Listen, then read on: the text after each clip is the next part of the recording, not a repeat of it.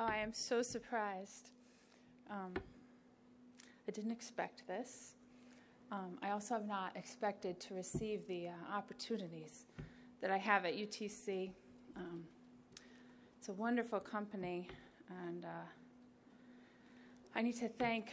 She, I know she's sitting somewhere around here, but I can't see her.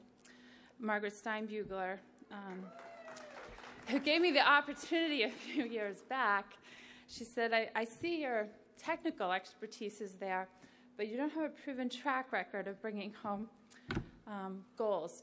And she gave me that opportunity. and really thank her. Because since then, um, I've had all these new experiences at um, leading people, which has been um, so rewarding to me to follow my passion and um, have my organization following along with me. Sometimes I just stop and think, wow, you know, they're taking my lead. Um, and it's so exciting to me to see that happening. Um, so I thank them, uh, Air Management Systems, right now for letting me lead them, and um, for HS letting me lead them in green programs.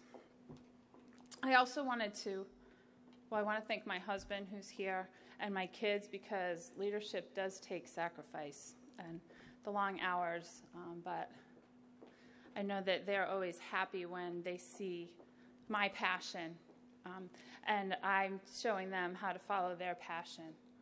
Um, um, and I think that for diversity, when men, women, any race, um, any color, any background um, can follow their passion, that's when we really um, become the best that we all can be. Um, so I um, have been working with the Academy of Engineering and Green Technology at Hartford Public High School, um, which UTC helps to sponsor. And so that's another great opportunity that UTC has allowed me.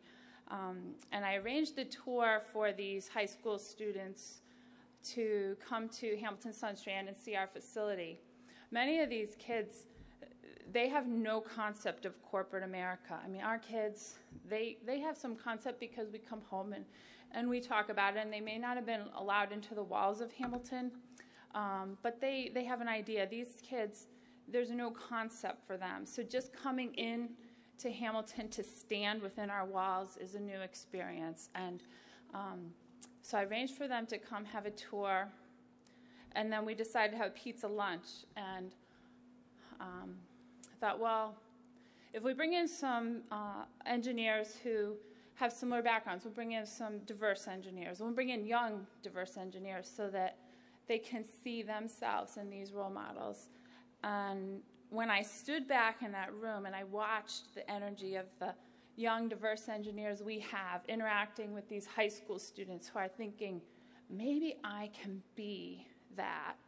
Um, I actually like started to kind of tear up and cry, which engineers are not supposed to do.